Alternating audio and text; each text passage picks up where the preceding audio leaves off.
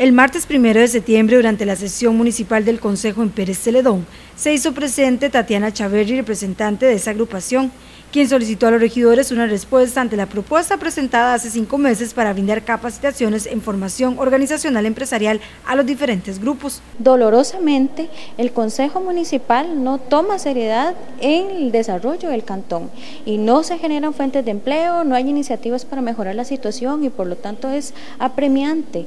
Y nos presentamos, eh, mi compañero y yo, Eric Alvarado, un compañero de Chimirol, y yo nos presentamos acá al Consejo con la idea de realizar una propuesta propuesta de crear eh, entre la ciudadanía y el gobierno local una propuesta de desarrollo que sea analizada y estudiada y no ha sido posible.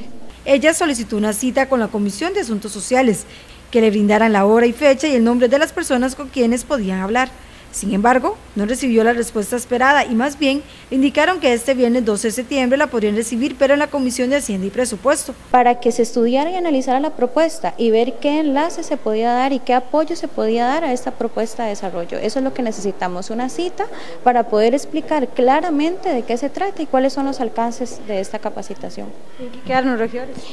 Pues a pasar la Comisión de Asuntos de Presupuesto y Haciendo. En realidad eh, pienso que el alcance ahí habría que ver la reunión que sería este viernes en 15 días y vamos a ver qué pasa. Sin embargo, otra vez, más tiempo, más extender plazo cuando las comunidades urge una solución inmediata. La propuesta que presentó se trata de brindar capacitaciones sobre la formación organizacional empresarial para que los grupos aprendan sobre los procesos, por ejemplo, para presentar perfiles de proyectos y más. Se trata de trabajar en las comunidades procesos de organización, que la gente pueda ver eh, en la organización la manera de desarrollar emprendimientos. El problema no es ser pequeño, no es ser un pequeño productor, el, el problema es estar solo. ¿Por qué razón? Porque al estar solo no tengo las capacidades para competir con otro productor.